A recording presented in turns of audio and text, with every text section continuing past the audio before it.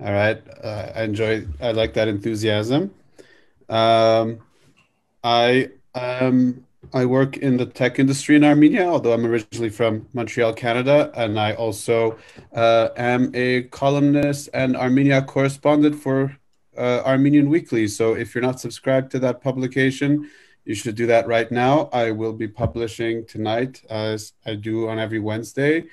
Uh, but of course, uh, I just uh, read the sign on uh, today's uh, event on Repat Armenia's Facebook page, and it says, and it's in small print, I must admit, but it says Haik Kazarian. So I should stop talking about myself and instead introduce Haik.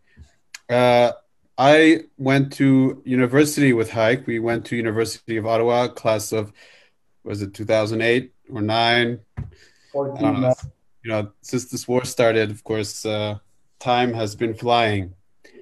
Uh, but uh, Haik at the time was uh, studying uh, entrepreneurship at University of Ottawa's business school, and he had started his first business, uh, which was called Students for Seniors, which I believe still exists. Uh, I'll let Haik explain what that does, but since I moved to Armenia in 2011, he also uh, moved here from Montreal. Of course, Haik is born in Armenia. When did you move here, Haik? Uh, May 2018, not the, six days after the revolution. That's right. He remembers that. Uh, of course, I remember uh, the day in which Haik uh, organized a ceremony where he ripped up his return ticket to Montreal because on that day Haik decided that he was permanently moving back to Armenia. And since he's been here, uh, he's been involved in quite a lot of very impressive entrepreneurial projects. So congratulations, congratulations, University of Ottawa. Finally, somebody who did something with one of your degrees. Uh, I hope my you know dean isn't watching this. So that said, Haik, uh, let's just quickly talk about uh, one of your first ventures since you've been in Armenia, the Apaga uh, recycling program. Sure. Uh, you know, Oh, just to get us Yeah, yeah, no. Basically, get the ball rolling.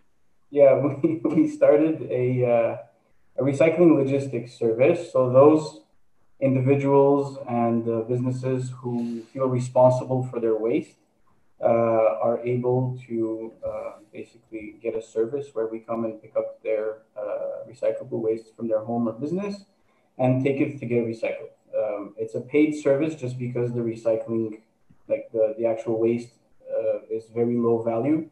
So just picking up the waste is not enough to cover the cost of transportation and you know storage and all that stuff.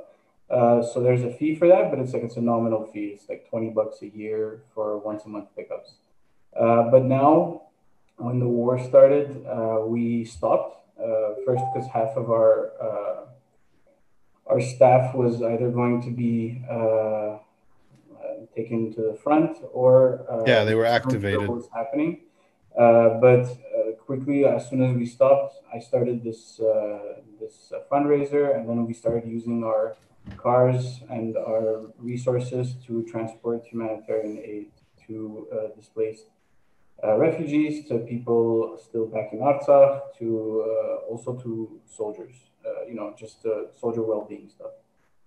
Yeah, that's right. So for those of you who aren't aware, uh, I am one of the subscribers to Haik's recycling pickup service, and I was a bit surprised that you know I had a box full of recycling, and then I got a little SMS saying that um, the service was going to be um, uh, suspended indefinitely, but it was pretty clear why. Definitely temporary. Well, for the duration of, you know, until we win, of course.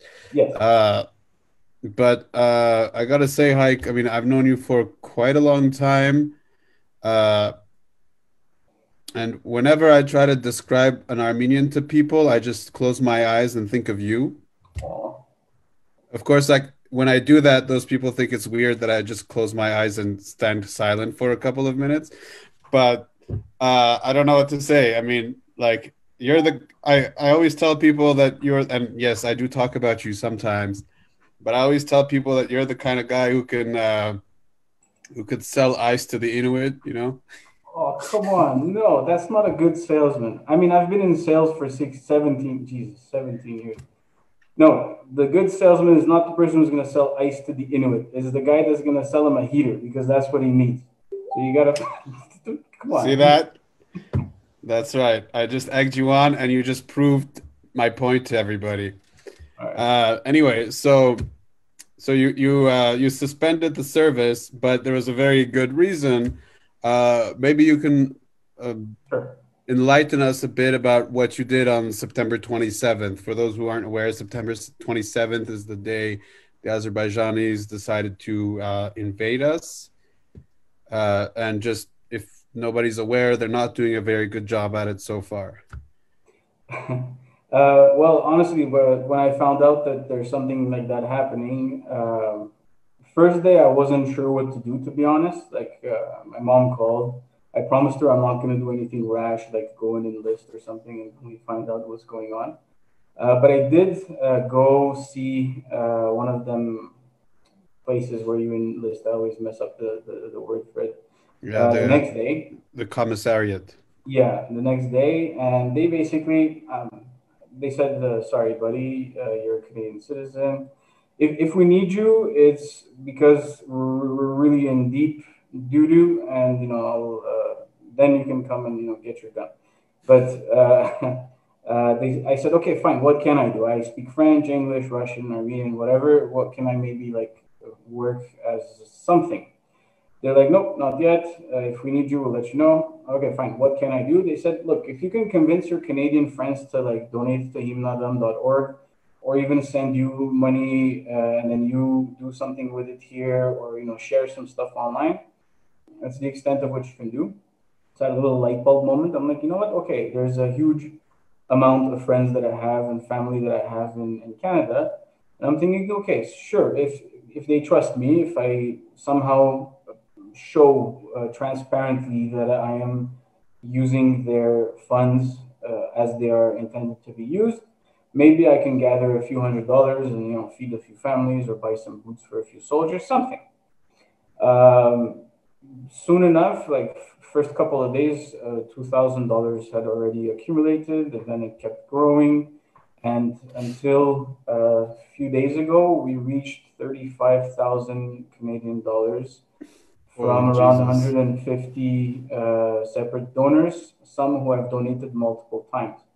And I, I believe there's a reason for that. There's an approach that I have that is different than, uh, you know, Himnadram. Look, I trust Himnadram, but uh, there, there are some people, including myself, who like to see where the money went, like what it was spent on. And the problem with that is money is fungible or fungible. I've never known how to pronounce that. It's this the fact that a dollar from one person or a dollar from uh, person B, how do you decide which one was spent first? So uh, I decided on the system where. Okay, they, they didn't teach that class at University of Ottawa, so don't worry about it. You know what? I didn't know that too. It's Margarit uh, from from Fresno who, who, who taught me that word.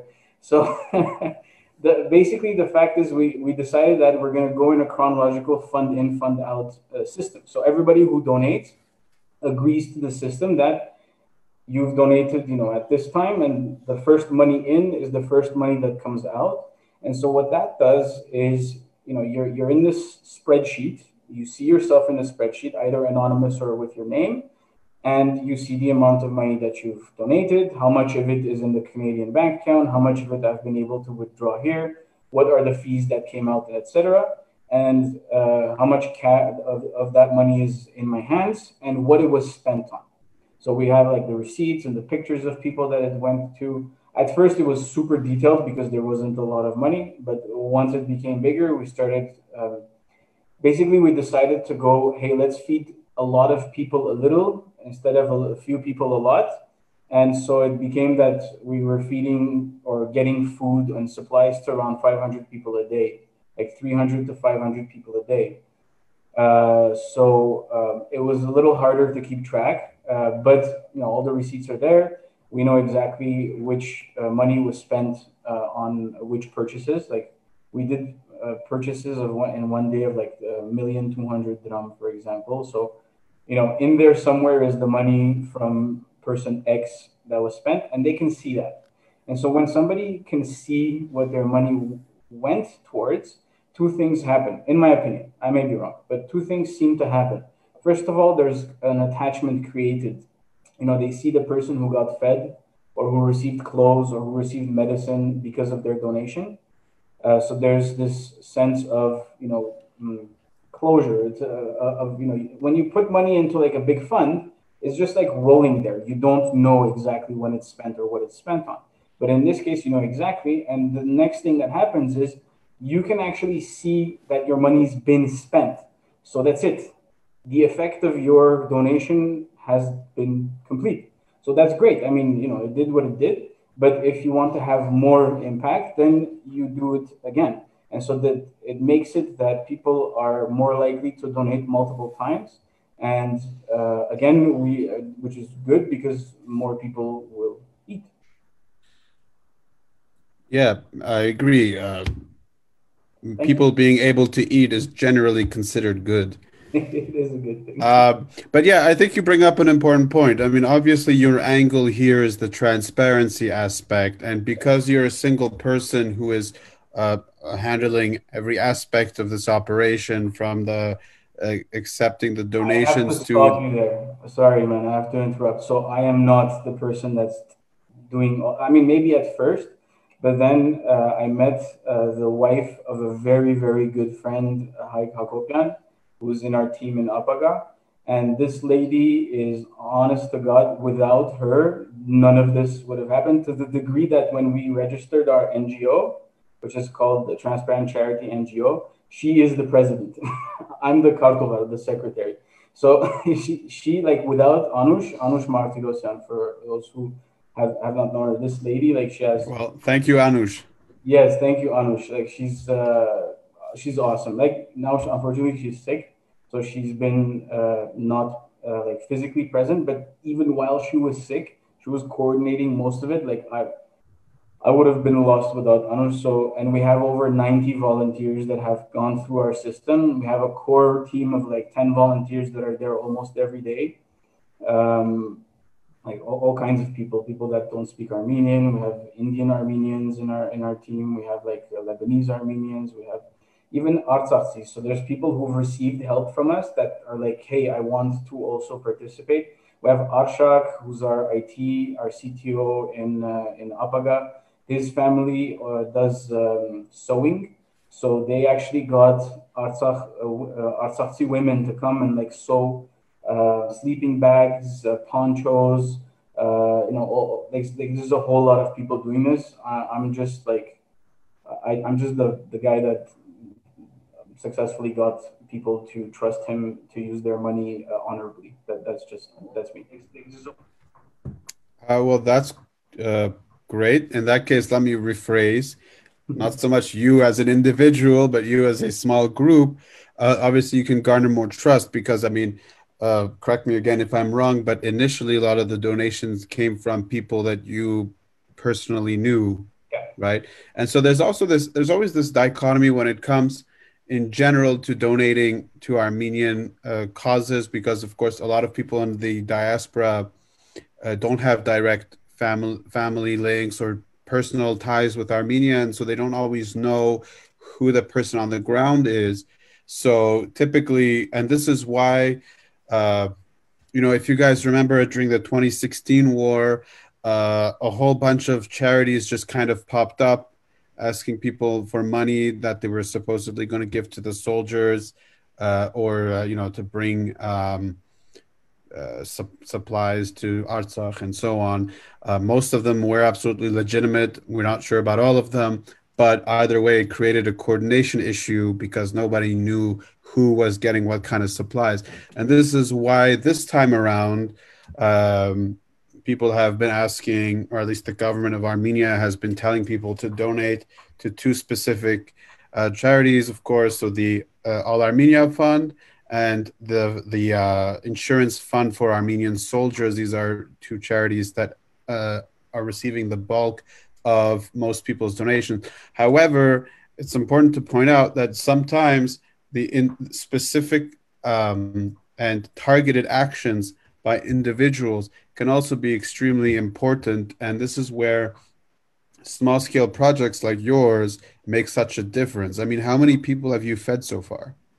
So just us, like without the Swedish uh, NGO that joined us uh, a week and a half ago, um, we have fed over 6,500 people.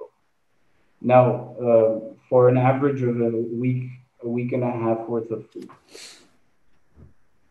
Yeah. And so, how with the Swedish NGO, how many is that? Double that, so around 14,000. 14,000. So, for reference, there are about 90,000 people from Artsakh who have been displaced by this war. So, basically, uh, this organization has literally fed 14% of all of the population of, of the refugee population of Artsakh. That's uh, that's amazing. I mean, can you like can can the World Food Organization say they've done something like this? You know, I mean, this is a single organization that succeeded in doing that. Um, I remember you mentioning it's it's not over yet. Like we still have, and it's not and it's not over. Unfortunately, this war goes on. We're on day thirty-one of this war now. But that's not what um, I meant. Uh, even if the war ends yesterday, there's still months uh, of work left to do because yeah for sure uh, uh, and it's winter is coming soon a lot of people no longer have homes this yeah. isn't like they're going to be just skimping on back to their house in Stepanakert when this as soon as this is over. I mean a lot of people need to eat. They need to be uh, in shelter. They need something to do um, to wait this out. Um, you mentioned what, what kind of food do you get and where do you get it from?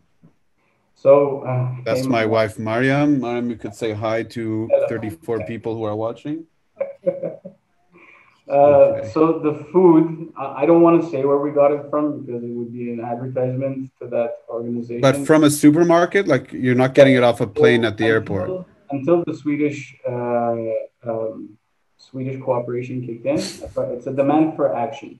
Uh, name of the organization. It's an amazing place, demandforaction.com. Um, until they, they kicked in, we were basically getting retail price stuff. So we spent like a whole lot of more money than we should have if that organization had given us discounts. Now, uh, with the help of uh, Vartan uh, Marashlyan, he uh, got us in touch with another organization that if we do start working with them or when we start working with them, I'll name them, uh, who have shown interest in giving us wholesale prices or hopefully at least wholesale prices. Uh, but yeah, thus far it's been supermarkets, stores, um, and what, what we do basically is we take our uh, Smarta Ford, old Ford, and we drive it to the supermarket, stuff it, you know, uh, with uh, the guys. We go, uh, we go, we, we fill it up. We take it back to Anusha's parents' place. They have this backyard, where it all gets sorted. Uh, mostly girls do the sorting because they do it best. We tried as guys once and failed miserably. So uh, we, you know, how it's been done for 200,000 years, man. You, you know, guys go and kill the mammoth, bring it back. Uh, the, the women distribute so that everybody gets their fair share. Hopefully, that's not considered sexist. Uh, but this is how. Is there any mammoth on the menu for the refugees? No, unfortunately. But the idea is that we have this uh, process going and throughout the three weeks or four weeks now that we've been doing this. We've gotten progressively better at it until uh, the point where uh, you know the, the swedish uh, organization so demand for action kicked in. The demand for action went straight to the original store that we were doing and got uh, about $30000 worth of food uh, wholesale prices enough to feed 14 1400 five person families, five person average families. So around 7,000, if my math is correct, people, which we finished distributing today. So there are currently 196 boxes left that are at the um, what's Nakarishnari Miutun thing next to Kino Moskva. Uh, and uh, we have a list of uh, people who are going to come pick it up today and that they came pick up today and tomorrow as well and that's that's the end of that until the next fundraiser. They uh, are now working on sending uh, winter clothes three containers full of winter clothes from from uh, Sweden uh, will arrive somewhere oh. November 15th. That's around 50,000 uh, um, jackets or whatever. Uh, and then in December, usually they have a gala, a fundraising gala, but because of coronavirus, they may not. Instead, they're looking at doing something else to raise another round of around 30 plus thousand dollars to continue this. So an ongoing process. We're still accepting donations. Uh, some have accumulated, so we have some money to now keep going until the next uh, demand for action uh, fund fundraiser kicks in. And uh, how do you? Uh, of course, I assume you're going to keep us keep us appraised of this so that we know uh, when to, you know, boost the announcements uh, on our various social media platforms. Yeah. okay, good. I, always, I was worried for a second. It's our page. Like I, I put the I took the liberty to put our logo here.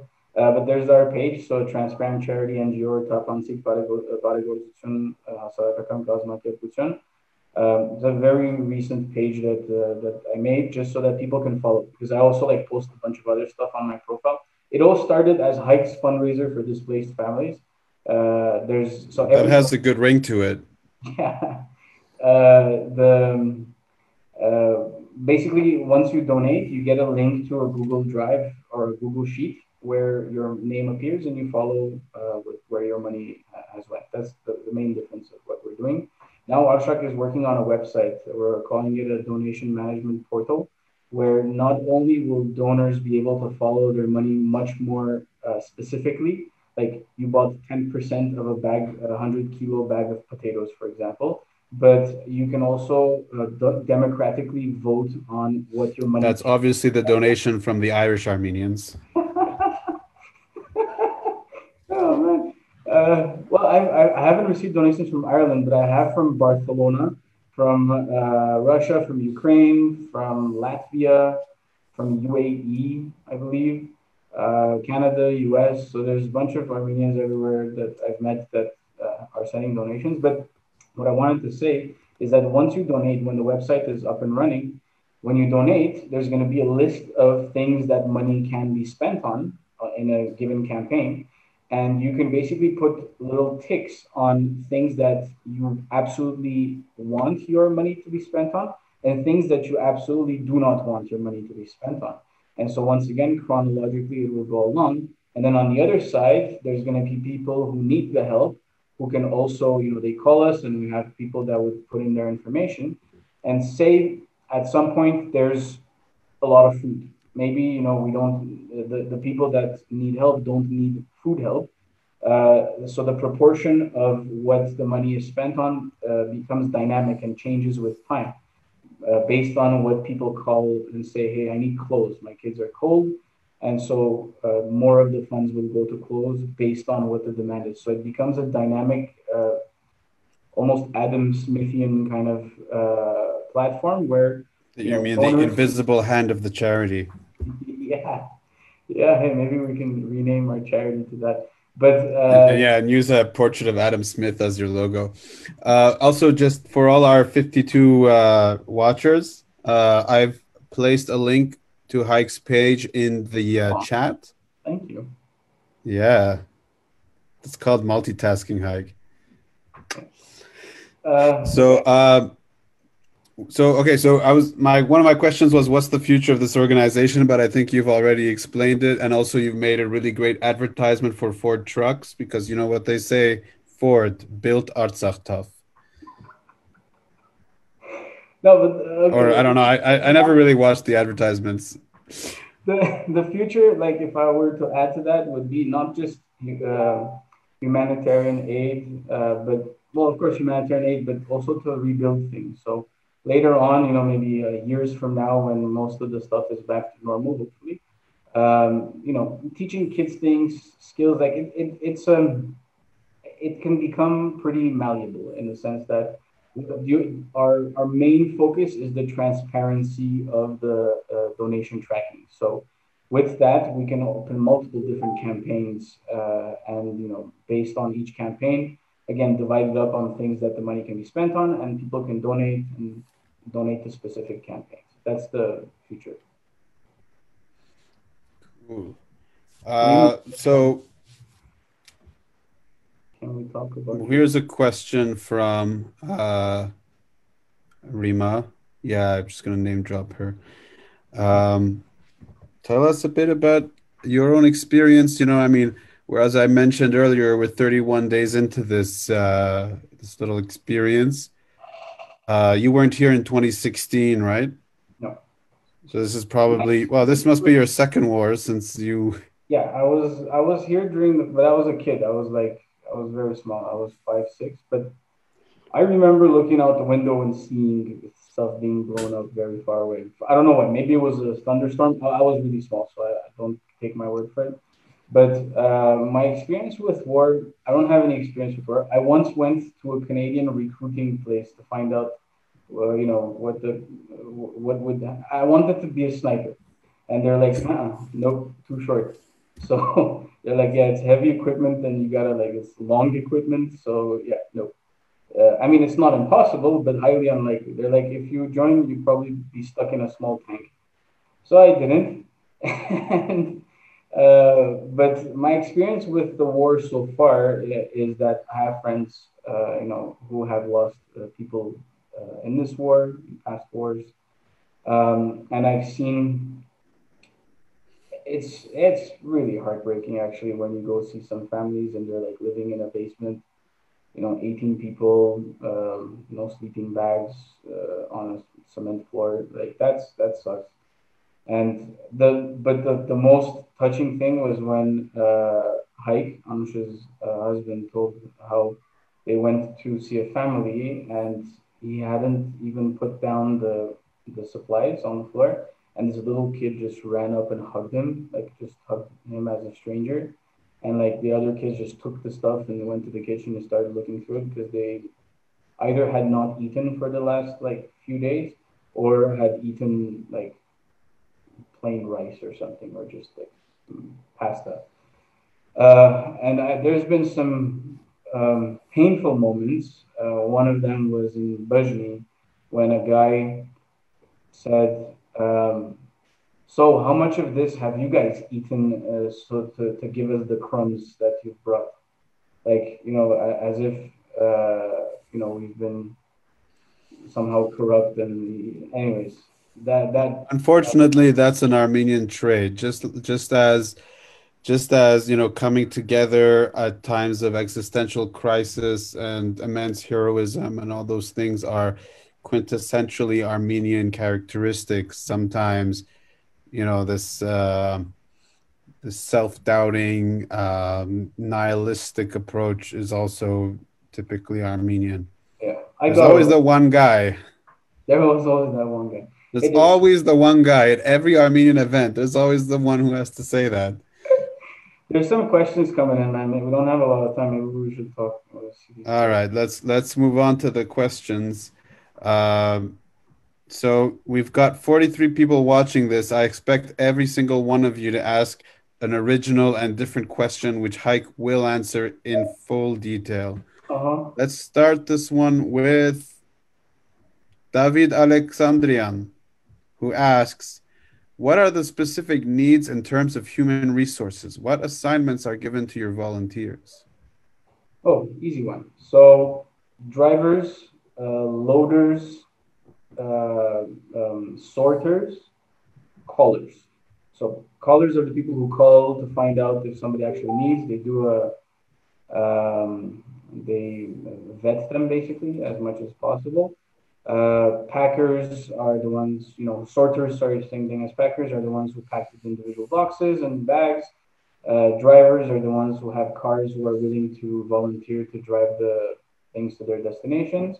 And uh, what was the other one? I forget. Uh, sorters. No, I said sorters. But anyways, I, I think they're pretty self. Unloaders. Loaders, yeah. So guys who will uh, may not have cars, but will are willing to, you know, load somebody else's car. Right. So just to just to be clear, the loaders should also be capable of unloading. Yes. All right. Because you don't want to get like two different guys. You know, one guy loads, one guy one loads But Haik, I mean, it sounds like you're running your very own Teamsters union here. Like, you got the trucks, you got the the the workers. Yeah. All right, let's go to the next question. Uh, by Maria Chobanyan, Mariana Chobanyan. I'm sorry. Haik John, are you going to continue uh, both working for Apaga and the Transparency Charity in the future? Um, so good, very good question. So my I'm, work, I'm, sure Mariana doesn't sound like this when she talks, but you know. Uh, so my whole thing is that uh, right now, uh, Smart Apaga does rely a lot on my work because I'm the one who does the, I'm the secretary basically that does the calls and does the dispatching and all that stuff. But that is soon going to be replaced by an application, and uh, Ashok is working on that. So my uh, work will be much lighter and uh, thanks to Anush, um, I, I don't have to organize things. So right now, um, I'm basically working as muscle uh, to some degree, but uh, also like posting some. That's how desperate the situation is, you guys. no, I mean I I've seen Haik load like a, you know a fifty pound fifty pound box. I mean he's a he may be small, but he's a beast. It it grow, makes the hair grow on the chest. Um, anyway. Oh, God knows you don't need any more of that. No, I don't. Uh, but yes, I, I will be doing both. And I mean, I, I'm doing like five things already. I'm also project. I, I'm able to delegate tasks to other people and do the ones that I need to do, the ones that are vital. And so one more is not going to make uh, much of a difference. All right. So important question when do you sleep or are you kind of like batman where you just kind of like recuperate in a cave i sleep uh, two two and a half hour uh, blocks uh, rem cycles so i'll sleep at like midnight and i'll wake up at five with one wake up in between this is my this has been the case for over 10 years now okay so you're kind of like napoleon um, yeah, like li- literally, you have the same sleep schedule as Napoleon. I hope you know that. Okay. No, You're also probably taller than Napoleon. No, he's taller than me. I've checked. you checked, of course you did. I'm as tall as that. Uh, ah, that is, th- is this your mom, Victoria Chituni? Chituni? yeah, I knew it. But if this, uh, your mom says, Thank you for a bit of a laugh today. I don't know if that's directed at you or me because your work isn't really, you know, funny. It's just really amazing. Probably you with your jokes, your Irish jokes. Okay. Now, Elena says, Thank you, Haik.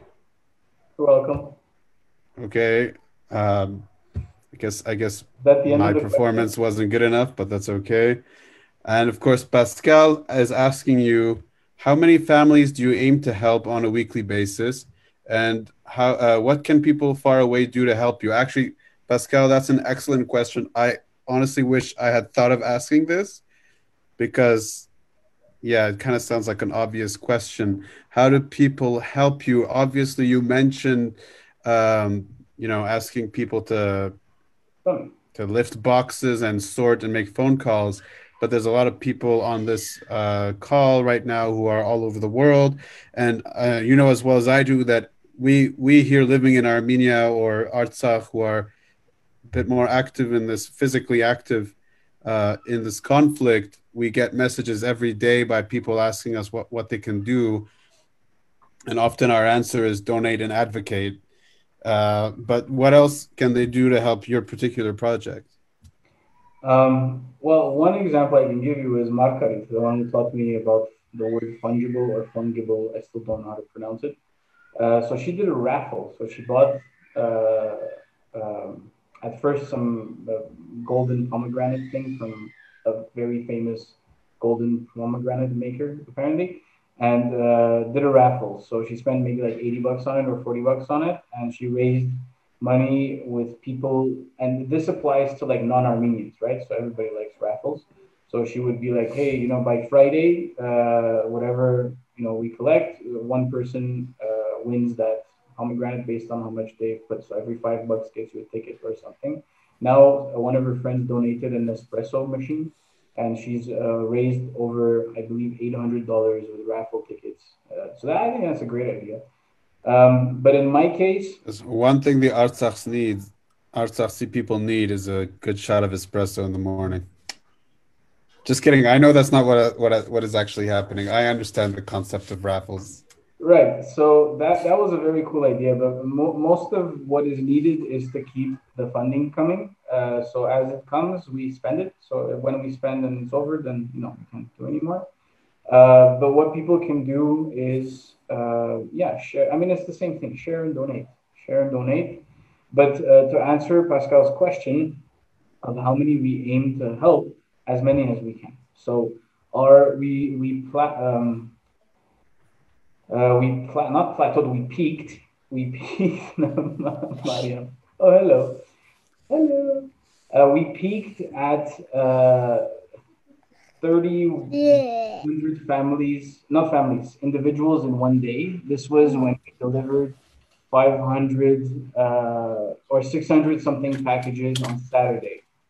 Uh, that was a that was a crazy day. Um, so that was our peak. So we can't do that every day. Uh, but our peak without the funding from uh, Demand for Action uh, was around 500 uh, individuals a day. Uh, actually, that's a perfect. Maral Susia. Okay, that's a perfect segue into Elina Danielian's question, which was about the long-term sustainability. What do you want, Maral? Yelag. There's no yelags here. Okay, take this. Go. So uh, she said she's asking if sending boxes is sustainable in the long term. For how many months can you keep doing that? And would it be useful to have cash assistance projects like it's done in other countries?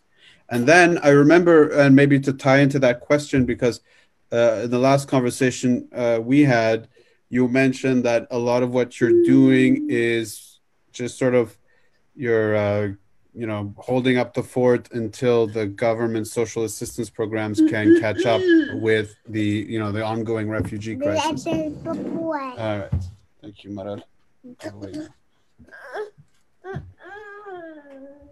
Uh, okay, so basically to answer that, um, I actually really, really wanted to uh, give cash as well, and we have on several occasions. So there's like uh, for for bread or something, and there was this one lady in Noyemberyan, this old lady who was living basically in a trailer, a small trailer, and uh, uh, she basically. Um, um, she was feeding or helping feed like most of the people that were that were there. So I, I you know, I, I just gave her forty thousand dram. Uh, but um, giving cash. So the thing is that in order to get people to see where their money goes, they have to see pictures, and I can't like it. It makes more sense to take pictures of uh, bringing like supplies uh, rather than, and you can't take a picture of handing cash to someone. It's or if somebody has an idea on how to do that in a proper way, like it's. Have you asked Gagik Tsarukian? I think he's an expert. I don't know, but um, yes, you can. Uh, so uh, one of the things that we want to do in the future is to is to enable people to sponsor families. So somebody will eventually be able to like sponsor a family through our platform and be able to send donations to them directly if they want. So this is something in the future, but right now it's an emergency situation. So being sustainable is not in like a priority right now. We're just trying to do as much as we can with what we get until the emergency situation is passed, and then afterwards figure out more sustainable or, or figure out the sustainability issue later. Uh, and how, how are you coordinating this with the government?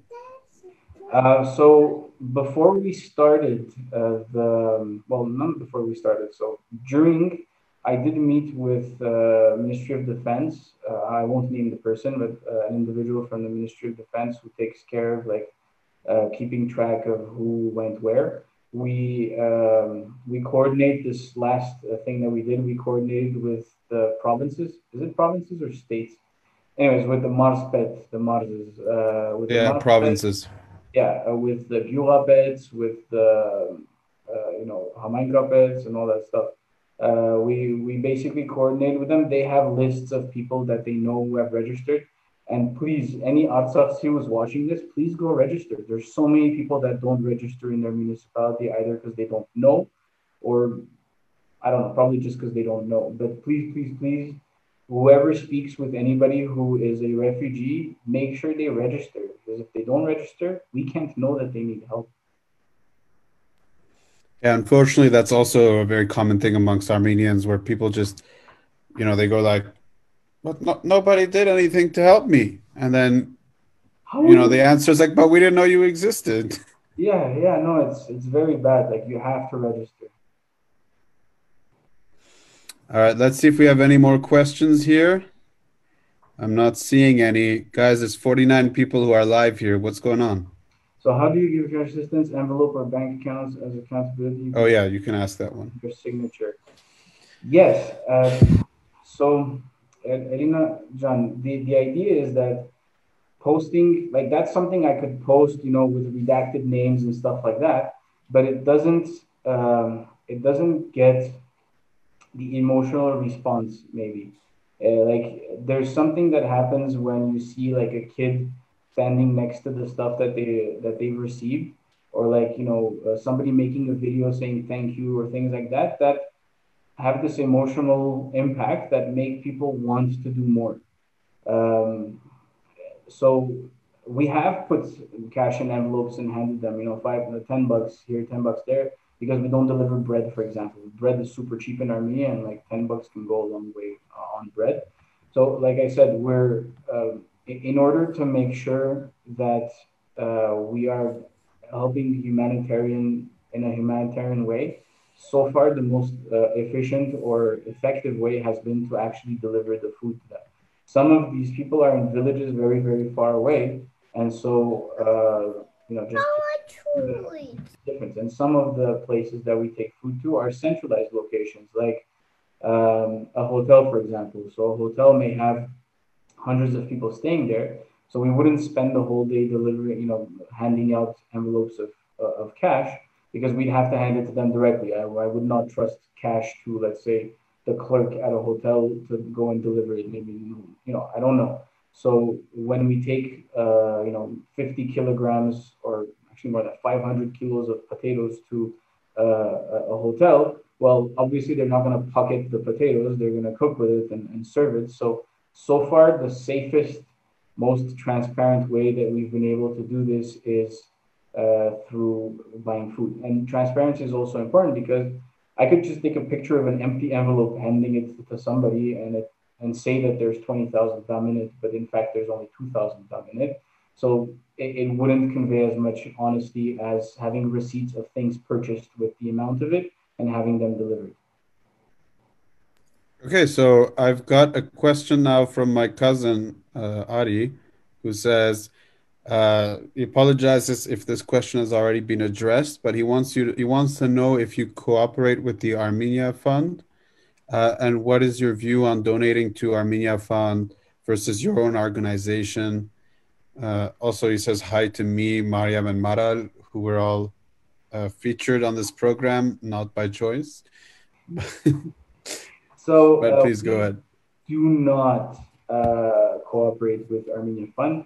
Honestly, I wouldn't know how to cooperate with Armenian Fund. I know that in the future, once we have our website, there is going to be a tick where it says that we can redonate it to Armenian Fund. Uh, but uh, the main difference is, I believe, and I, I, I don't really know because I donated, but uh, I, I don't know where that money went. So there are some people who categorically do not want their money to be spent on weapons, for example. So I don't know if Armenia spends money on weapons. Uh, people don't know if they spend money on weapons, or there's some people who may categorically not want their money to be spent on food. Who knows? So, um, so you can't choose that when you donate to Armenia Fund. You, you donate, and they do with it what they think is right, and I have no doubt that they do with it what is right. Uh, in my case, what I made was mainly for those who are skeptical or who rather, maybe not even skeptical, but just who would rather see exactly where their money went. and this is um, you know it's it's a thing that uh, I find that it's important. Uh, if somebody wants to see where their money went, they can see where their money went. And uh, most of the people who have donated to me also have donated to the Armenia uh, Fund. So there, it's not a or or. Uh, it can be and and or uh, I really don't mind as long as people donate somewhere. Um, I'm okay with that. Hello, somebody there? That's right. It's it's important. Yeah, I can. You got a little. Okay. Yes, I can hear you. All right. Uh, is I guess to our viewers, it's important to uh, clarify that this doesn't have to be an either or. Uh, you can do both. You can donate to Armenian Fund. You can donate to these specific projects like Haik. In fact, I encourage you to do that because ultimately, as one of our commentators here said, I think it was Pascal, uh, All Armenia Fund is uh, a much more larger type of impact. It's more about uh, rebuilding the roads and the houses um, and rebuilding all that infrastructure in Artsakh that the Azeris uh, are, of course, trying deliberately to destroy because, of course, for them, the goal is to make it uninhabitable. So when you're uh, donating to Armenia Fund, uh, what you're doing is you're helping make Artsakh a home for Armenian people. Uh, but projects like Haiks, of course, are more about very targeted and specific uh, needs that are much more urgent. So if you can do both, do that. If you can do one or the other, do that. Uh, but certainly, there's nobody in Armenia who's going to say, no, you've already given us too much money. Please stop. Hey, maybe I should mention how to donate. Does, does that make sense? Yes, that's a better point. You should probably tell people how they can help you. I've already shared a link to your charity's Facebook group on our chat. In fact, I will do it one more time. Um, so uh, to donate uh, from Canada, currently, because we're still in the process of opening an account here, it's through an e-transfer, Interac e-transfer. So it's uh, transparentcharityngo at gmail.com. You can just e-transfer money there. When you do, you have to contact me directly via Facebook or something else uh, so that I can give you a link to the spreadsheet where you'll see and be able to follow your money. So in Canada, it's Interac e-transfers. Anywhere else, it's PayPal. So it's paypal.me slash artsakh A-R-T-S-A-K-H, strong. Um, and uh, we, once we open our account here, uh, then people will be able to also donate directly to our account in Armenia. For people who donate from Armenia, it's currently it's going through my personal account. I mean, this all started as a personal fundraiser, so it all went through me. Unfortunately, there's been some losses in fees and in uh, uh, what's it called, um, currency exchange. So that that kind of sucks, but we're working on fixing that. Uh, but uh, yeah, if you want if you want to donate, you can just contact me directly on Facebook. I'll give you the instructions on how to do that and give you the link of where you can follow your money. All right, so we'll take this one last question questions where we this Because and who asks what's that? Sorry uh, it's getting it's lagging. So yeah next question yeah.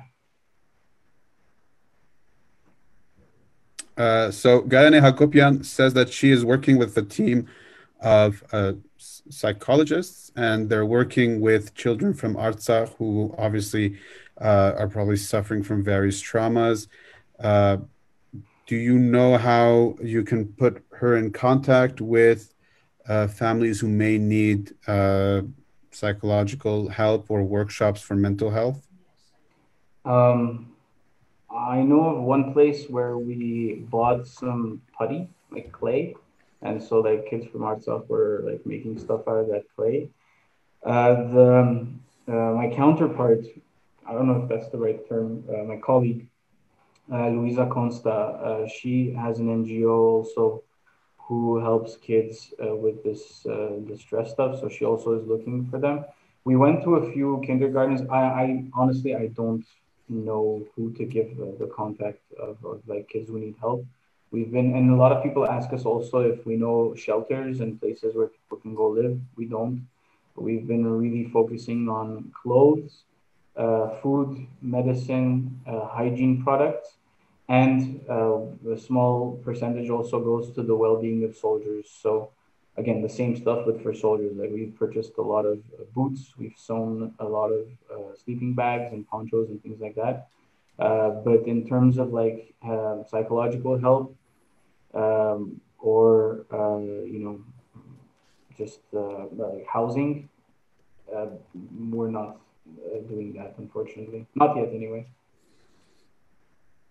Okay, so I also, for those who were asking, I added your PayPal uh, link as well as the charity to make it easier for people to send you some money.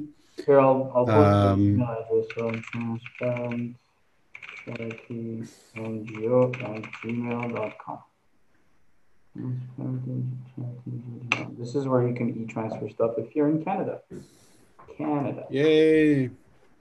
Okay, well, um, you know, I think that uh, I'm actually surprised that uh, we've had so much uh, watching retention uh, this far into the video. Obviously, we're doing a great job, and I didn't say the F word even one time during this whole uh, live. I know. We should uh, applaud each other for it. Yeah. Uh, so, anyway, Haik, thank you so much for taking this time with us. Thanks to uh, obviously every minute you spend talking to me is one minute that you're not helping people in Artsakh. So I'm gonna let you get back to your Napoleonic sleep schedule, and um, you know continue what you do. Uh, formidable, yeah. Yeah, for formidable, right. exactly. So um, you know, and for everybody who's been watching, all 26 people, that's right, that's half of the people who started out, but still not bad. Um, you now you know where to donate. You know um, how to follow and how to help. Uh, please spread the word. Let your friends know what this is all about because as Haik has uh, explained quite clearly this is an emergency situation that he's active he and his group have activated to uh, help alleviate so thank you to everybody for tuning into our our call tonight um, thank you repat armenia I now have to read a book to my daughter. So, uh, and yes, thank you, Repat Armenia, for hosting this. This was a great idea. Thanks. Uh, have a great night. And Haik, thanks so much for being on the show. On the, the Raffi show. show. All right. Bye, Raffi. Bye, everyone. Thank you. Bye bye. Ciao.